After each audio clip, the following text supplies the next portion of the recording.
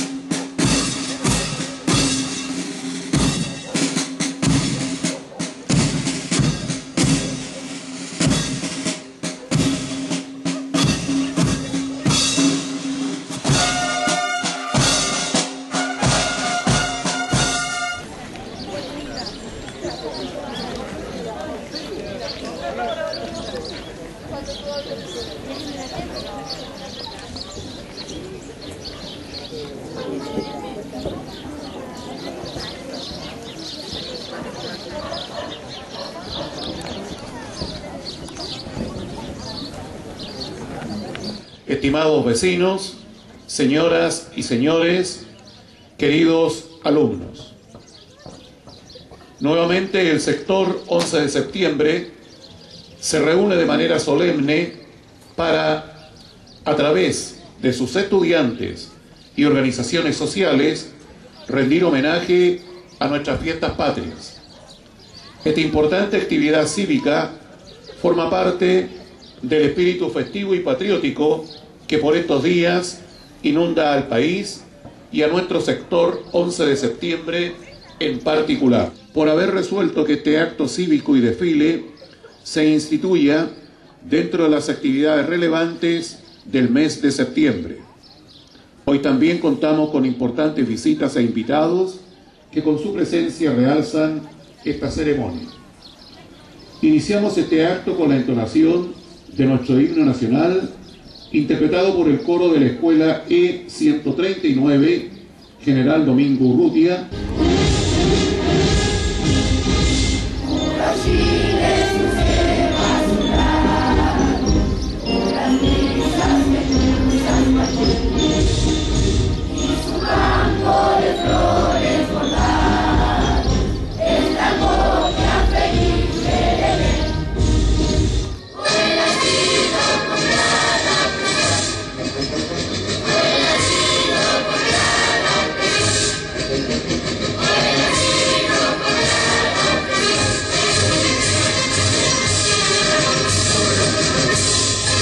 Señora Claudia Sepúlveda Hernández, hace uso de la palabra para referirse al homenaje con que esta comunidad recuerda nuestras fiestas patrias. En las casas flamean banderas y el cielo se tapiza de volantines, porque estas fiestas son de mayor expresión de nacionalidad del país. Nadie queda fuera y se disfruta cada año, de diversas formas y con diferentes costumbres. Todo comenzó en 1810 cuando en Europa el ejército de Napoleón ataca España y toma prisionero al rey Fernando VII, entregando el poder de España a su primo José Bonaparte. La información que, llega, que llegaba desde Europa al reinato del Perú desalentó a muchos de los españoles que estaban en diversas colonias en América y replegando las fuerzas militares que oprimían al pueblo chileno Bajo este escenario, don Mateo de Toro y Zambrano, el 18 de septiembre de 1810, presidiendo la primera Junta Nacional de Gobierno, recién formada, con este se dio el inicio a un proceso de independencia que duró alrededor de ocho años. En ese tiempo se crearon emblemas como una bandera, un escudo y, y se liberaron batallas importantes contra el ejército español. Participaron en este periodo de nuestra historia héroes nacionales, como don Bernardo Higgins y don José Miguel Carrera, entre otros. La historia se aclara luego de la liberación del rey de España. Comenzó el proceso de reconquista de Chile. El rey español ordenó a las fuerzas militares volver a las colonias para retomar el dominio. Cuando llegaron los españoles encontraron que Chile estaba gobernado con las colonias y fuerzas independentistas y comenzó el enfrentamiento. Las fuerzas españolas fueron, fueron mayores al ejército chileno, obligándolo a, a, replegarse al otro lado de la cordillera, en Mendoza. en ese lugar en donde el ejército se encuentra con don José de San Martín, libertador argentino, quien ofreció toda la ayuda para liberar a Chile. San Martín y O'Higgins planearon hacer un ataque estratégico, entrando por el norte y con mayor cantidad de militares por la parte sur, para sorprender a los españoles y tomar Santiago. Fue así como el 12 de febrero de 1818 San Martín y O'Higgins, juntos al ejército libertador, liberaron nuestra patria. O'Higgins quedó como director supremo de Chile y San Martín continuó su camino a la libertad hacia el Perú. Realmente el 18 de septiembre se celebra la instalación de la primera Junta Nacional de Gobierno, pues la independencia de Chile fue el 12 de, de febrero de 1818 pero para nosotros los chilenos, el 18 de septiembre es, es la fecha más importante, ya que fue la primera demostración de emancipación al pueblo criollo sobre el dominio realista.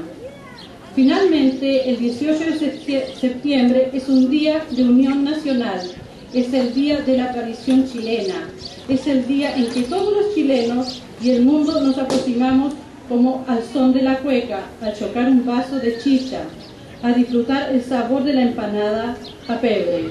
En ese momento en que nosotros, nuestros héroes, son reconocidos por el pueblo y toda la nación, en ese día todos los hijos de la tierra gritamos con orgullo en el pecho, ¡Viva Chile! A continuación, y para deleitarnos con nuestra música tradicional, muy propia de este mes de la patria, el conjunto folclórico del Liceo Violeta Parra, que dirige la señorita Mirta Ortega Martínez, nos cantará temas de nuestro folclor nacional.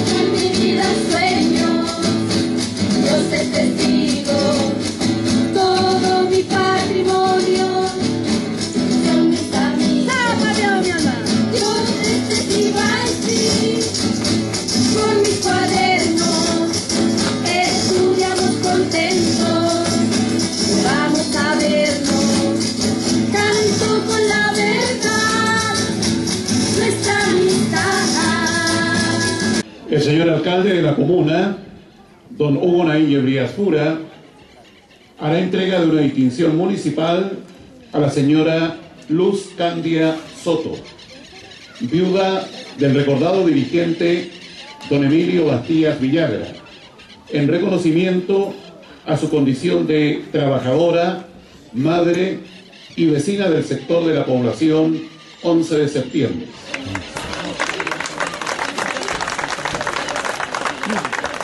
Desde San Carlos de Itigüe, provincia de Ñuble, Chile, tierra de Violeta Parra, ciudad turística, agrícola, ganadera, gastronómica y cultural, se confiere la presente distinción a la señora Luz Candia Soto en reconocimiento a su condición de madre trabajadora y vecina del sector 11 de septiembre, otorgado en septiembre 14 de 2013 en el marco de la conmemoración de nuestra independencia nacional, afectuosamente y con el mayor aprecio del Consejo Municipal.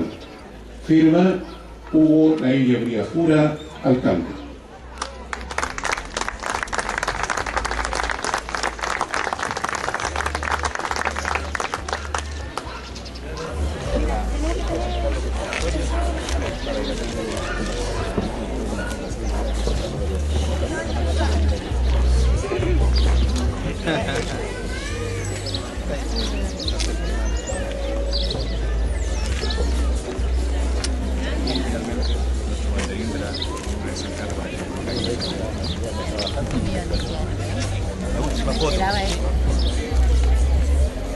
Nuestra máxima autoridad comunal, el alcalde Hugo Naín Yebría Jura, hará uso de la palabra para entregarnos su saludo en los instantes en que estamos dando inicio a la celebración de los 203 años desde que se instaurara la llamada Primera Junta Nacional de Gobierno.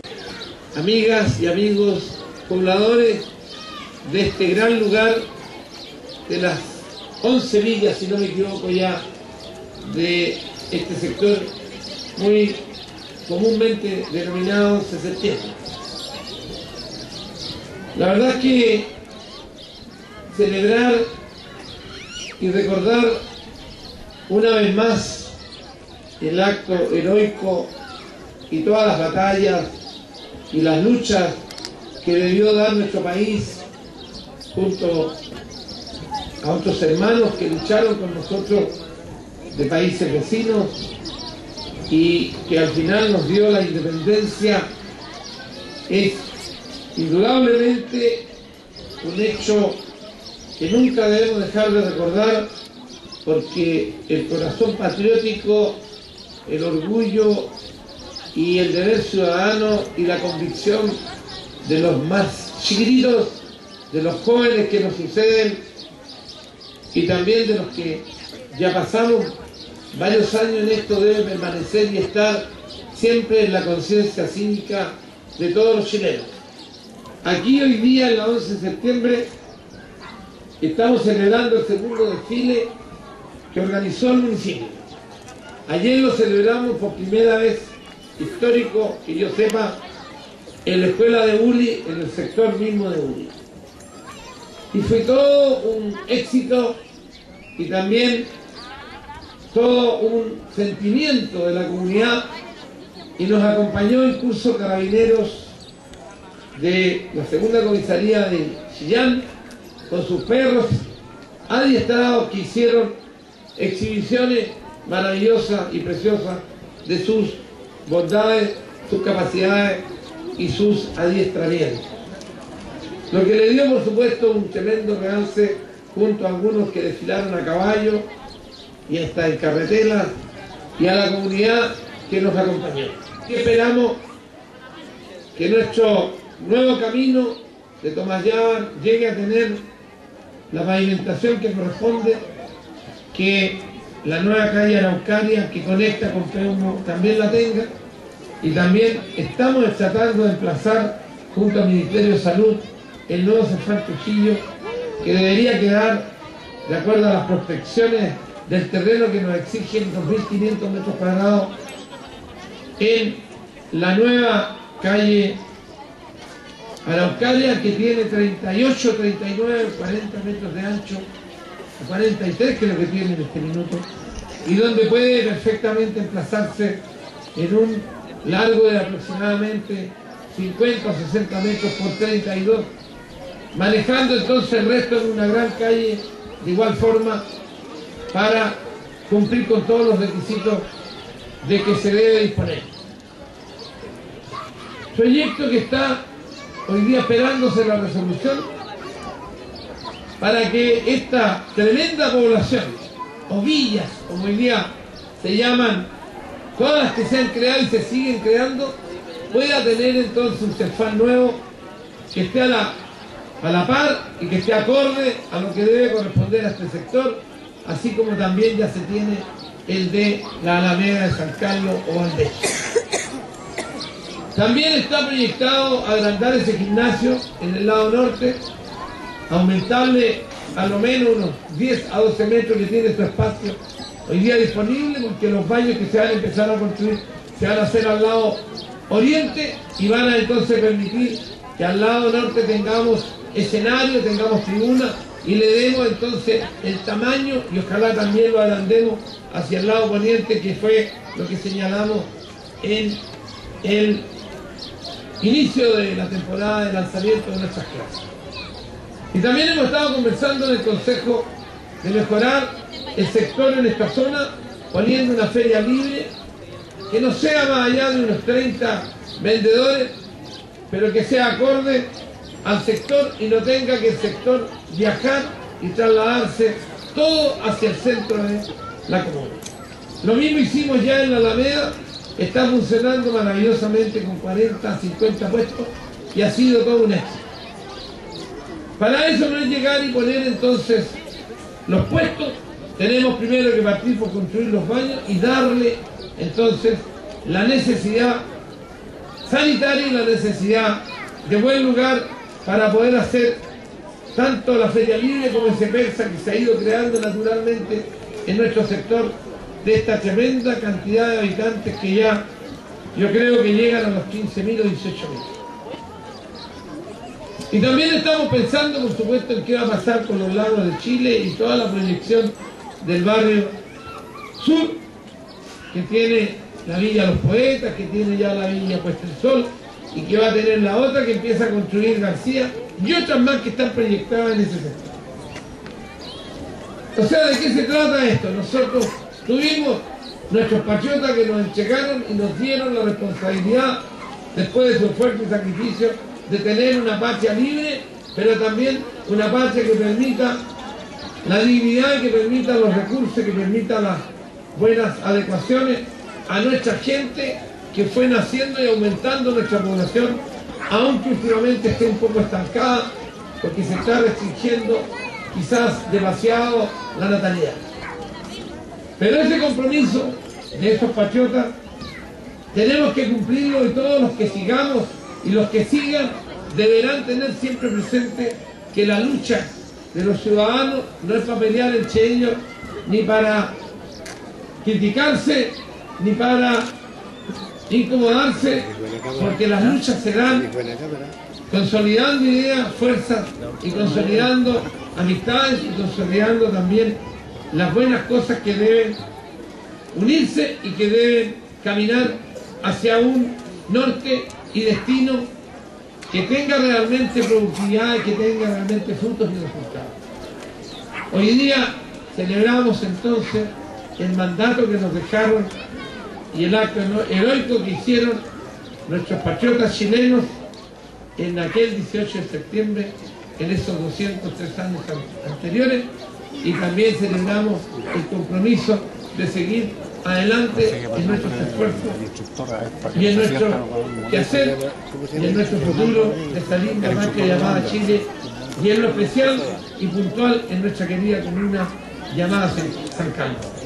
Muy buenos días, muchas gracias, que Dios los bendiga y será entonces hasta una próxima oportunidad que estemos disfrutando de este bello desfile de la comunidad.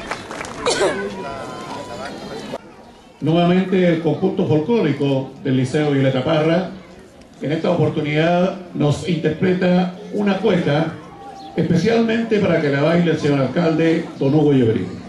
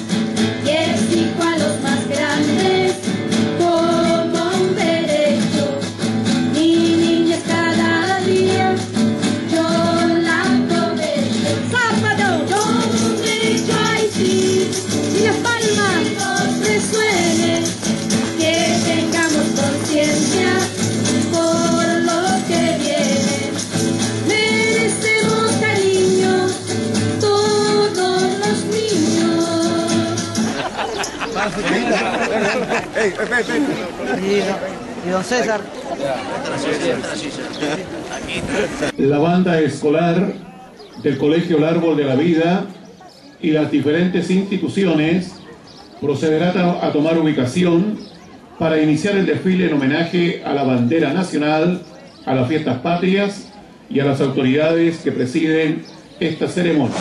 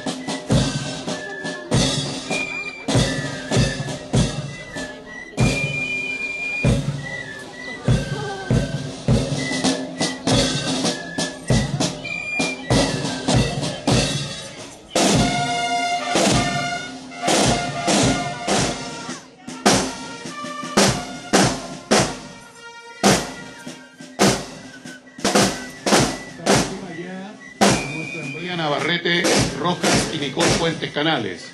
Tras ellos, el estandarte comunal de San Carlos, portado por José Yáñez Sepúlveda, Catherine Soto Sepúlveda y Catherine Puntos Soto. La escuela es 112, General José Miguel Carrera. Directora de este establecimiento es la señorita Carolina Garrido Aparicio.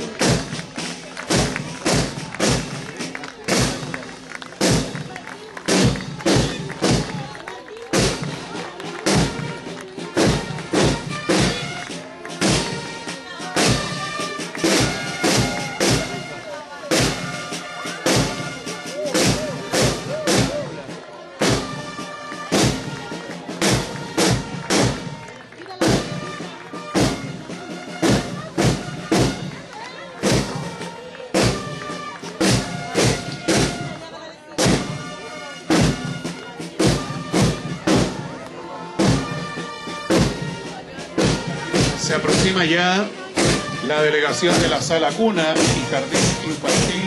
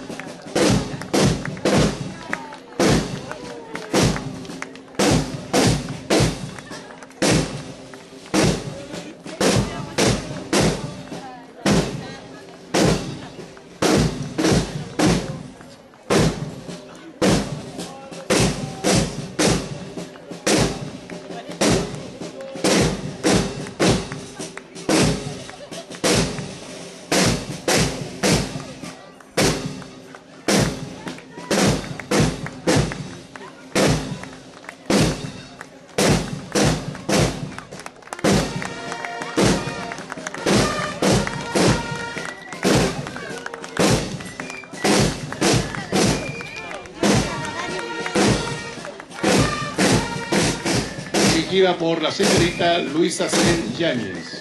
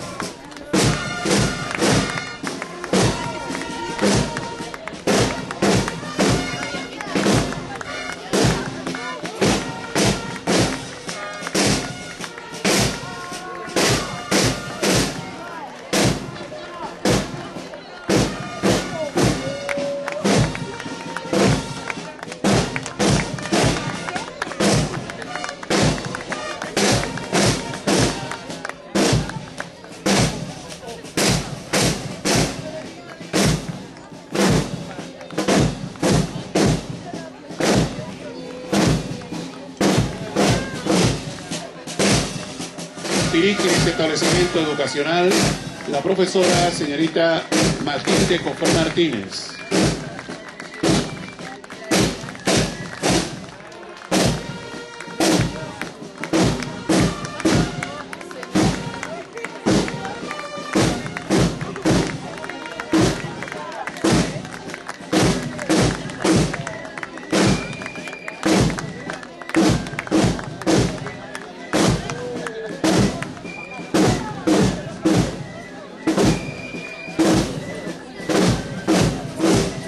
Lo hace la delegación de la Brigada del Tránsito de la misma escuela S-129 General Domingo.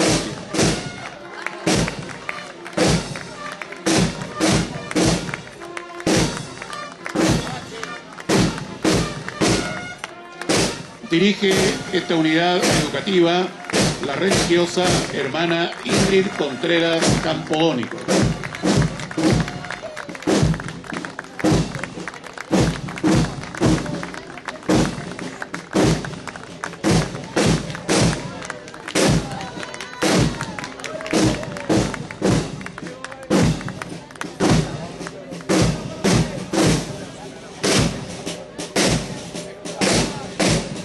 Árbol de la vida. En esta oportunidad, bajo las órdenes del subdirector señor Camilo Conejeros Rosas.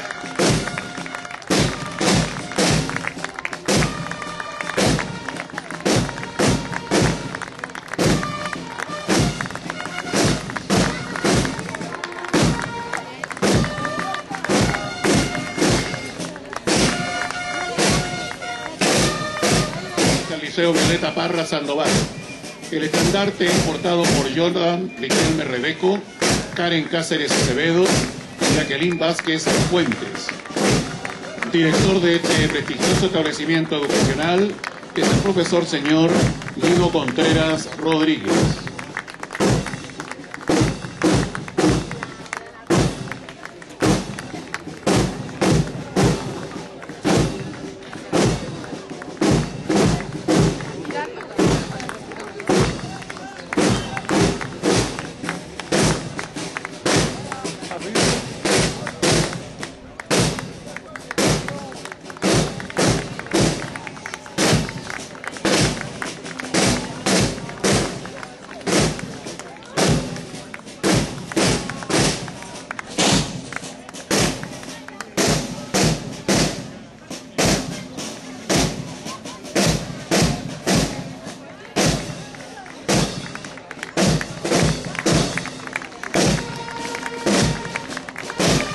Es paso frente a las autoridades del conjunto folclórico del Liceo Violeta Parra, conjunto dirigido por la profesora señorita Mirta Ortega Martínez.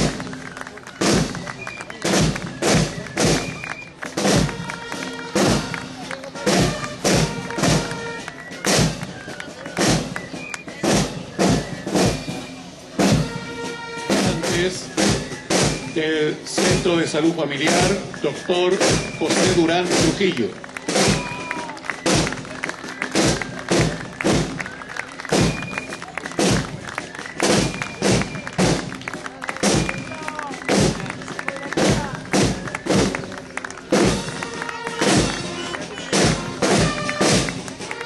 De la Junta Villa Los Pigües, dirigida en esta oportunidad por la señora Gladys Espinosa Gutiérrez.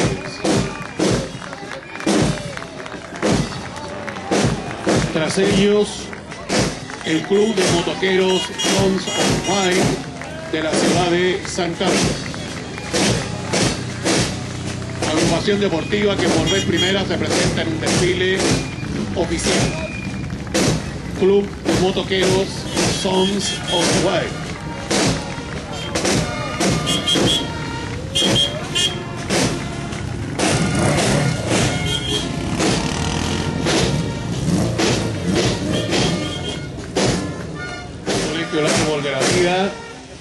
Conducción del tambor mayor Alejandro Villacontra, procederá a desencajonar.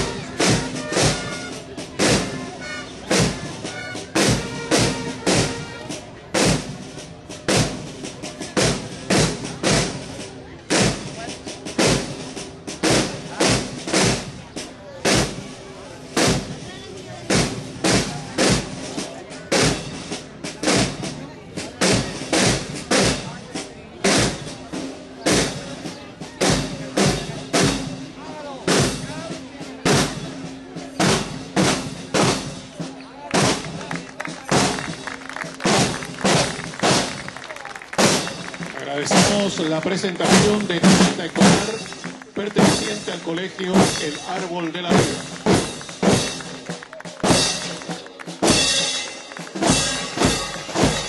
De esta forma finaliza el acto cívico con que el sector 11 de septiembre ha rendido homenaje a nuestras fiestas patrias al conmemorarse los 203 años de nuestra independencia nacional.